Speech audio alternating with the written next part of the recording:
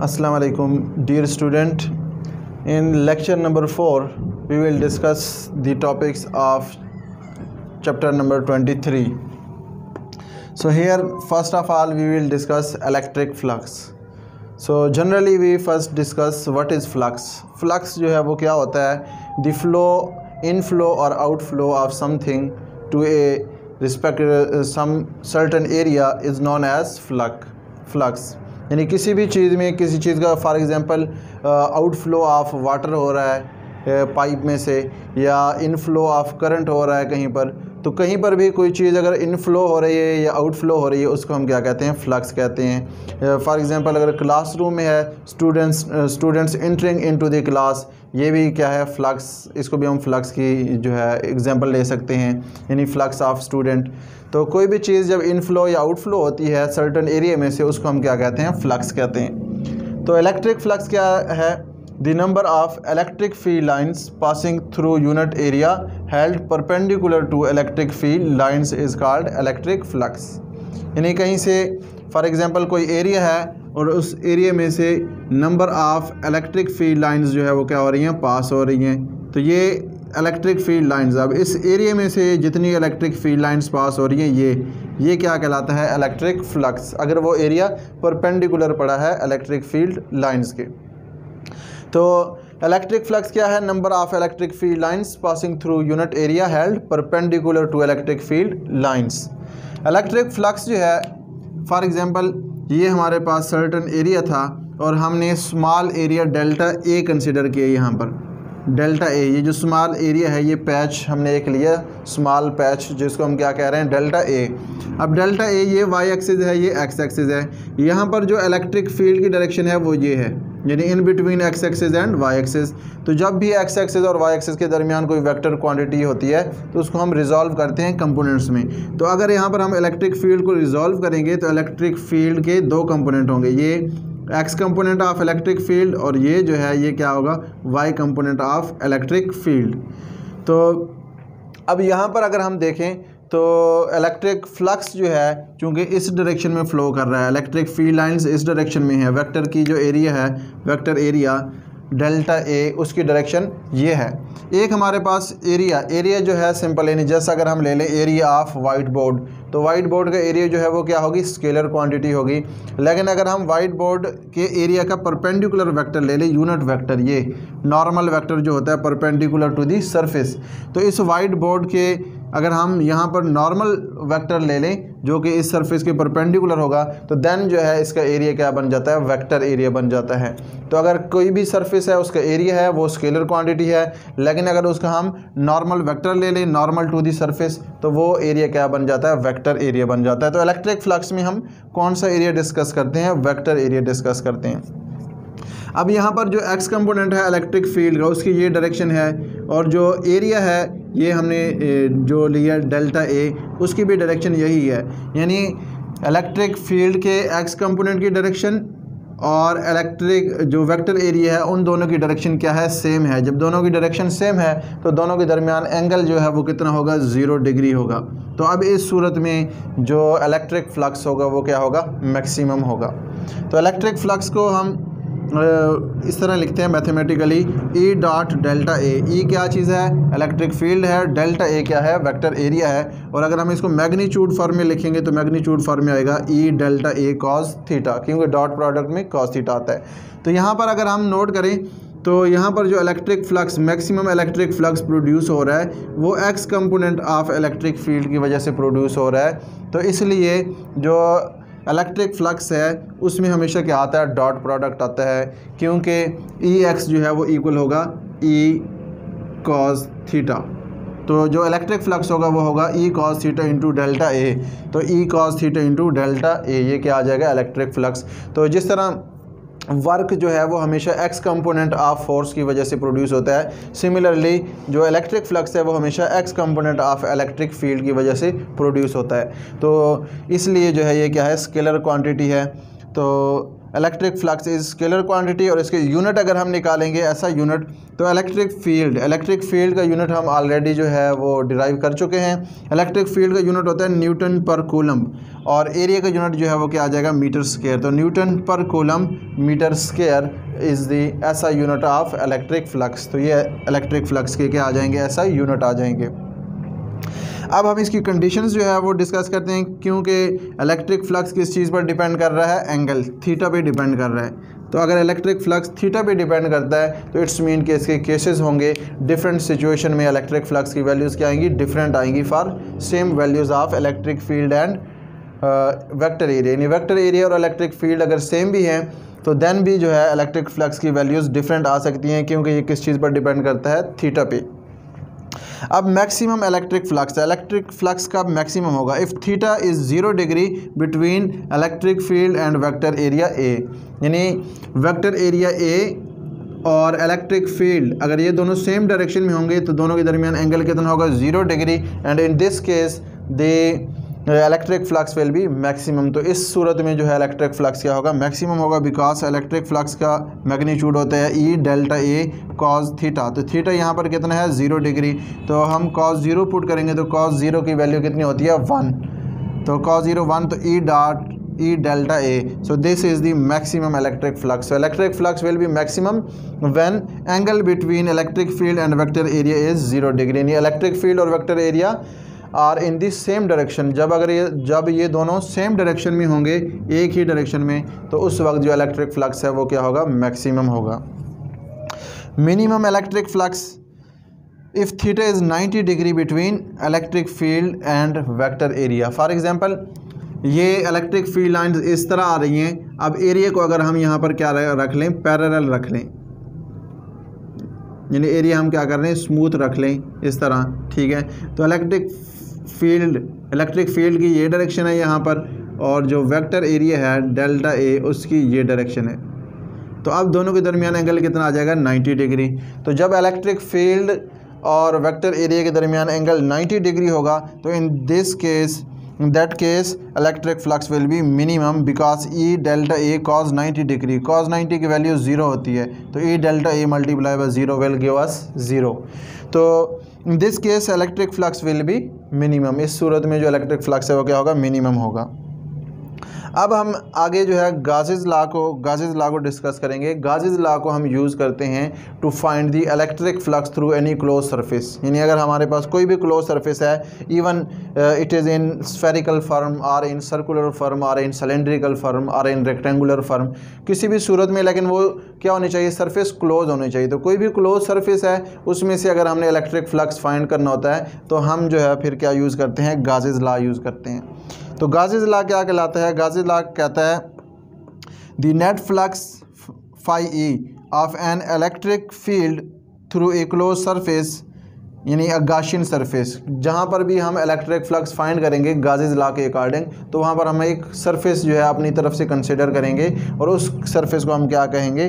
Gaussian surface A Gaussian surface is equal to the net charge enclosed by the surface divided by the permittivity of free. यानी Gauss's law कहता है कि कोई भी close surface है, उसमें से जो इलेक्ट्रिक फ्लक्स है, वो हमेशा इक्वल होता है charge enclosed by the surface over epsilon nought epsilon nought क्या है? परमिटिविटी ऑफ़ फ्री स्पेस है। और ये जो लिखा हुआ है charge E N C charge enclose यानी उसको हम शॉर्ट फॉर्म में लिखा हुआ है चार्ज इनक्लोज यानी गाशिन सरफेस जितना जो है वो फ्लक्स जितना चार्ज इनक्लोज करेगी divided by permittivity of free space तो वो क्या, किस चीज़ की इक्वल होगा? हमेशा total flux through the surface तो इलेक्ट्रिक फ्लक्स जो है वो हम ऑलरेडी डिस्कस कर चुके हैं कि वो किसके इक्वल होता है? ई डॉट डेल ए तो इलेक्ट्रिक फ्लक्स जो है, यहाँ पर हम ये पुट करेंगे E dot del A integrate integrate का मतलब है कि अगर हमने एक स्मॉल पैच लिया जिसका एरिया स्मॉल डेल्टा ए है तो उस वहाँ पर बहुत सारे स्मॉल एरियाज़ होंगे तो उन तमाम को प्लस करके पूरी सरफेस का एरिया आ जाएगा। तो इसलिए हम उसको क्या कर रहे हैं? इंटीग्रेट कर रहे हैं डी ए के ऊपर। एफ़ साइलान नॉट डिवाइड है, इधर आगे क्या हो जाएगा? मल्टीप्लाई हो जाएगा। तो epsilon E dot del A is equal to Q? Q जो है वो क्या है? Charge enclose by the surface charge enclose by यानी गाशियन सरफेस जितना चार्ज कंसिडर करेगी। फॉर एग्जांपल ये अगर हमने गाशियन सरफेस ली हुई है तो इस को हम स्मॉल पैचेस में डिवाइड कर लेते हैं। Delta A one delta A two D A D A two D A three so on फिर जब हमने एक पैच का इलेक्ट्रिक फ्लक्स फाइंड कर लेंगे तो उसके बाद हम उसको क्या कर देंगे? इंटीग्रेट कर देंगे पूरी सरफेस के ऊपर। क्योंकि तमाम सरफेस में से जितने भी डेल डी ए एरियाज़ होंगे, उन तमाम को हम इंटीग्रेट कर लेंगे तो वहाँ से क्या आ जाता है? टोटल इलेक्ट्रिक फ्लक्स आ जाता है। तो charge enclose by the Gaussian surface यानी गाशिन सरफेस हमेशा कितना चार्ज इनक्लोज करती है? Epsilon nought E dot del A integrate integral तो ये जो है total charge enclose by the surface आता है।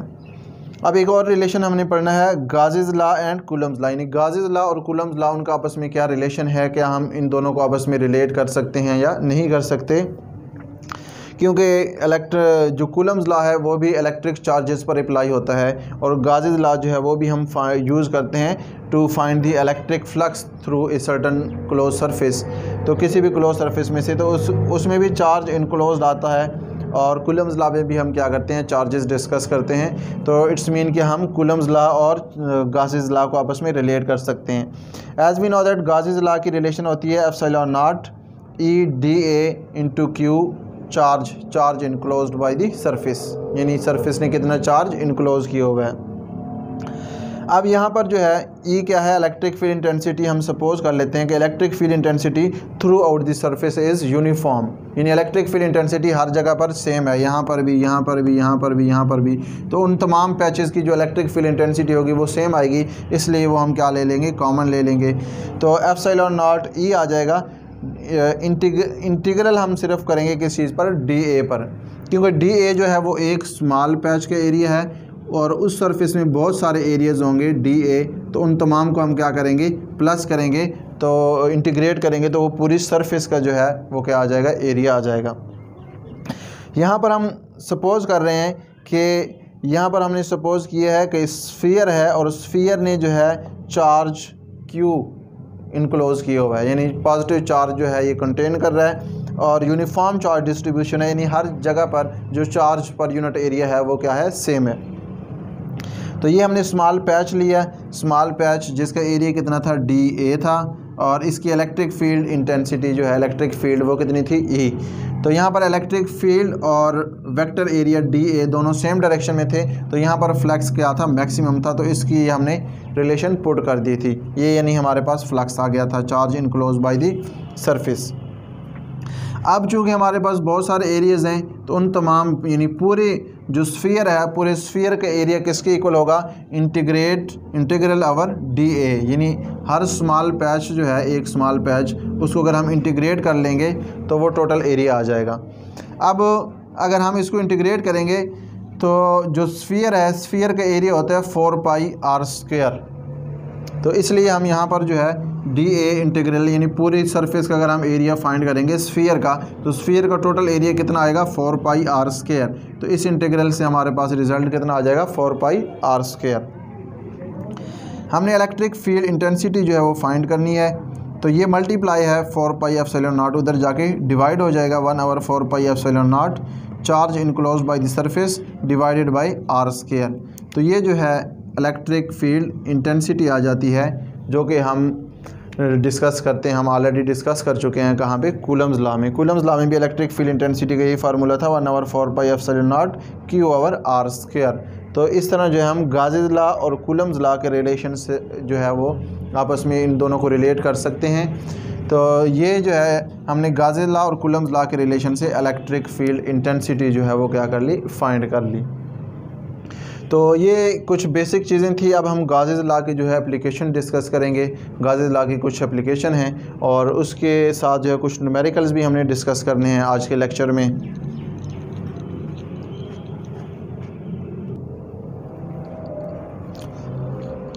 Now we will discuss some of the application of Gauss's law. First application is a charge isolated conductor so here we consider a charge isolated conductor with excess positive charge let let's consider a charge isolated conductor with excess positive charge on it surface we consider a cylindrical Gaussian surface embedded perpendicularly in the conductor enclose some of the charge यानी ये हमने क्या किया है? Conductor है, उसकी surface पर excess positive charge है मीन के उस पर पॉजिटिव चार्ज ज़्यादा है पॉजिटिव चार्ज अब जो है, हमने क्या किया? वहाँ पर एक सिलेंड्रिकल फॉर्म में गाशियन सरफेस नहीं ये जो हमने सिलेंडर बनाया हुआ है, ये गाशियन सरफेस हमने क्या की है? कंसिडर की है। तो ये गाशियन सरफेस हमने कंसिडर की है। एज़ वी नो दैट कि पॉजिटिव चार्ज की जो इलेक्ट्रिक फ़ील्ड है, वो हमेशा क्या होती है? आउटवर्ड होती है।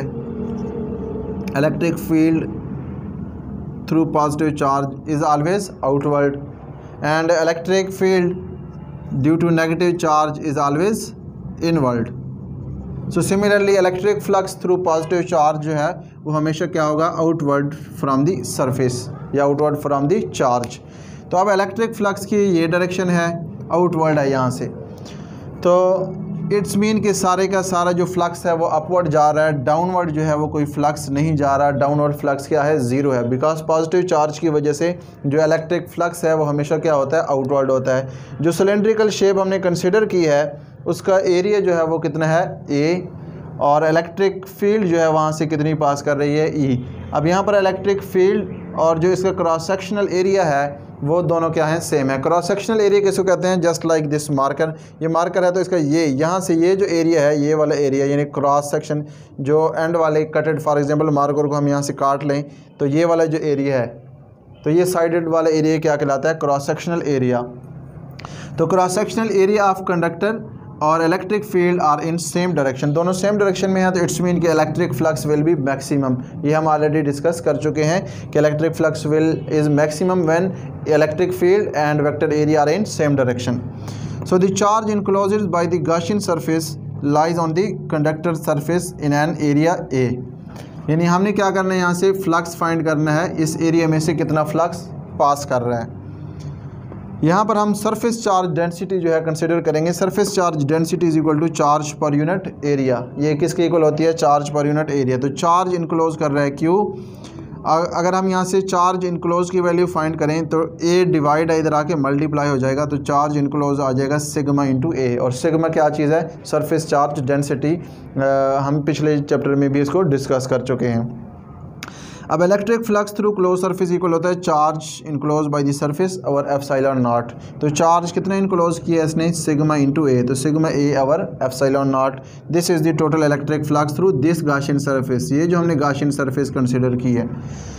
अब जो है, हमें पता है कि किसी भी क्लोज सरफेस में से जो इलेक्ट्रिक फ्लक्स है, वो इक्वल होता है ई e ए तो इक्वेशन टू और इक्वेशन थ्री इक्वेशन टू और इक्वेशन थ्री को जो हम क्या करेंगे? कंपेयर करेंगे।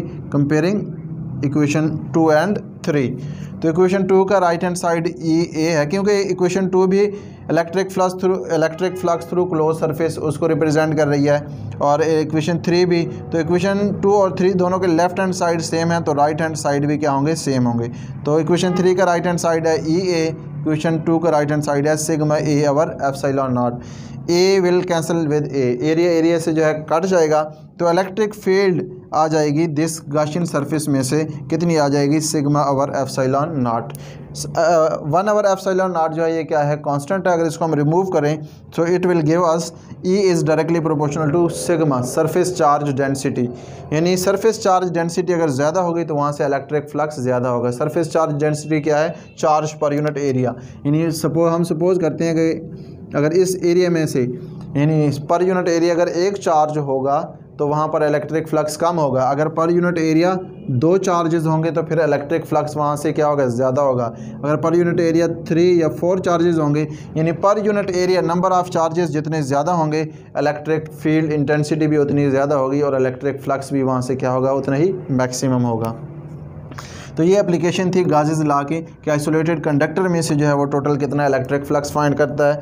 तो इलेक्ट्रिक आइसोलेटेड कंडक्टर में से टोटल इलेक्ट्रिक फ्लक्स कितना पास करता है सिग्मा और एफसाइलॉन नाट और it's totally depends upon the surface charge density second application है हमारे पास अ चार्ज स्फीयर यानी अगर चार्ज स्फीयर है तो वो भी चूँकि क्लोज सरफेस है तो उसमें से इलेक्ट्रिक फ्लक्स कितना होगा? उसके लिए भी हम क्या करते हैं? गाजेज ला यूज़ करते हैं। Let's consider a charge sphere all charge is spread across the surface of the sphere यानी सारे का सारा चार्ज जो है वो स्फीयर की सरफेस के ऊपर है। इन जो है स्फीयर कोई भी चार्ज नहीं है। क्योंकि किसी भी स्फीयर पर जब भी हम चार्ज स्प्रेड करते हैं तो वो सारा चार्ज उसकी सरफेस पर चला जाता है। इन साइड स्फीयर जो है वो कोई चार्ज लाई नहीं करता। So we consider a Gaussian surface of radius R ये हमने क्या किया है? गाशियन सरफेस कंसिडर किया है ये वाली। जिसका रेडियस कितना है? स्मॉल आर है। Small R is less than capital R यानी जो स्फीयर का रेडियस है, उसके अंदर ही हमने क्या किया गाशियन सरफेस कंसिडर किया है। तो इसलिए गाशियन सरफेस का जो रेडियस है, वो क्या है? स्मॉल है किसके रेडियस से? स्फीयर के रेडियस से। अब electric flux through this Gaussian surface कितना होगा? Charge enclose by this surface और epsilon naught as we know that कि all the charges are spread across the surface of the sphere सारे का सारा चार्ज जो है वो सरफेस ऑफ़ स्फीयर पे स्प्रेड किया गया है। तो इन साइड जो है वो कोई भी चार्ज नहीं होगा। तो इन साइड चार्ज कितना है? ज़ीरो तो इट्स मीन जो हमने गाशियन सरफेस कंसिडर की है उस गाशियन सरफेस में से जो चार्ज है वो कितना है? ज़ीरो है। तो चार्ज ज़ीरो पुट करेंगे ज़ीरो और एफसाइलॉन नॉट हमारे पास क्या आ जाएगा? ज़ीरो आ जाएगा। As we also know that electric flux through any close surface is equal to होता है ई e ए तो दोनों, ये भी क्लोज सरफेस थी और ये भी क्लोज सरफेस का इलेक्ट्रिक फ्लक्स है। तो इक्वेशन वन और टू को क्या करेंगे? कंपेयर करेंगे। तो E A is equal to zero अब टोटल इलेक्ट्रिक फ्लक्स क्या है? ज़ीरो है। इट्स मीन कि दोनों चीज़ें ज़ीरो नहीं हो सकती, दोनों में से कोई एक चीज़ ज़ीरो है। तो अगर हम यहाँ पर देखें, इस गाशियन सरफेस का जो एरिया है एरिया ज़ीरो नहीं हो सकता। Here area is not equal to zero क्योंकि इस गाशियन सरफेस का एरिया होगा।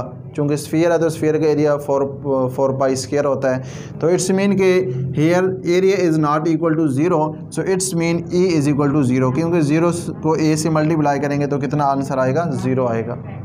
तो inside a hollow charge sphere electric field intensity is always zero कोई भी अगर हॉलो चार्ज स्फीयर है तो उसके इनसाइड जो इलेक्ट्रिक फ़ील्ड इंटेंसिटी है, वो हमेशा क्या होती है? ज़ीरो होती है।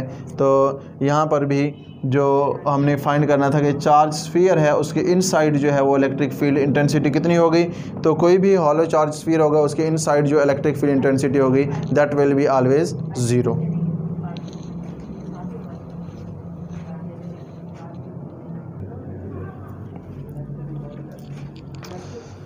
so now we will discuss some of the numericals numerical हमें गिवन है कि एरिया ऑफ़ ड्रम जो है ड्रम दिया गया है, उस पर चार्ज कितना इनक्लोज करेगा? वो चार्ज हमने क्या करना है? फाइंड करना है कि ड्रम जो है टोटल कितना चार्ज इनक्लोज कर रहा है। तो ड्रम का जो एरिया है, वो इक्वल होता है pi into diameter multiply by height H charge हमें पता है कि चार्ज के फार्मूला होता है सिग्मा इंटू ए, क्योंकि surface charge density sigma is equal to होता है चार्ज पर यूनिट एरिया तो चार्ज इज़ इक्वल टू होगा सिग्मा इंटू ए। अब सिग्मा की वैल्यू भी नहीं केवल यहाँ पर, सिग्मा जो है सिलेंड्रिकल फॉर्म में, चूँकि चार्ज क्या होगा? सिलेंड्रिकल फॉर्म में होगा। तो सिलेंड्रिकल फॉर्म में जो है, वो इलेक्ट्रिक फ़ील्ड इंटेंसिटी होती है सिग्मा और एफसाइलॉन नॉट तो यहाँ से अगर हम सिग्मा की वैल्यू निकालेंगे तो ई एफसाइलॉन नॉट तो सिग्मा की जगह हम, ये एफसाइलॉन नॉट ई पुट कर देंगे। तो इनकी अगर हम वैल्यूज़ पुट करेंगे, सारी वैल्यूज़ हमें गिवन हैं, ये सारी। तो इसमें से चार्ज जो है, वो कितना आ जाएगा? Three point two ten power minus seven coulomb तो यहाँ से हमने चार्ज फाइंड करना था तो इस तरह हम इससे चार्ज फाइंड कर सकते हैं। पार्ट बी जो है, पार्ट बी में से हमने फाइंड करना है कि इस पर मज़ीद न्यू चार्ज जो है, अगर इसका एरिया हम चेंज करते हैं तो एरिया चेंज करने से अब न्यू चार्ज इस पर कितना आएगा, वो हमने क्या करना है फाइंड करना है। तो टोटल चार्ज जो है, यानी न्यू चार्ज इक्वल होगा। चार्ज पहले वाला चार्ज जो था into ratio between new area और प्रीवियस एरिया जो पहले वाला एरिया था और जो अब न्यू एरिया है, उन दोनों के दरमियान हम रेशो निकालेंगे। तो एरिया अगर बड़ा होगा तो चार्ज भी बढ़ जाएगा। एरिया कम हुआ होगा तो चार्ज भी क्या हो जाएगा? कम हो जाएगा। तो ये हमारे पास क्यू न्यू एरिया जो है pi D prime into H prime क्योंकि वही सिलेंडर ड्रम है तो एरिया उसका सेम वही होगा, लेकिन डी प्राइम और एच प्राइम उसकी नई हाइट और नया डायमीटर पाई पाई से कैंसिल हो जाएगा। तो यहाँ पर जो है चार, चार्ज की वैल्यू पहले ये थी जो आया। अब जो है हमने क्या कर दिया? डायमीटर भी चेंज कर दिया और हाइट भी क्या कर दी? चेंज कर दी। तो इनके वैल्यू जब हम पुट करेंगे तो ये हमारे पास जो है अब न्यू चार्ज आ जाएगा। 1.4 point four ten power minus seven coulomb तो चार्ज जो है वो क्या हो जाएगा? कम हो जाएगा। तो इस तरह जो है हम क्या कर सकते हैं? किसी भी सरफेस में से इलेक्ट्रिक फ्लक्स फाइंड कर सकते हैं या चार्ज फाइंड कर सकते हैं या electric field intensity so I will give you some numericals in homework तो उससे जो है आपको इजीली अंडरस्टैंड हो जाएगा कि किसी भी उसमें से सरफेस में से हम इलेक्ट्रिक फ्लक्स या जो है इलेक्ट्रिक फ़ील्ड इंटेंसिटी कैसे फाइंड कर सकते हैं या charge enclose by the surface वो हम कैसे फाइंड कर सकते हैं।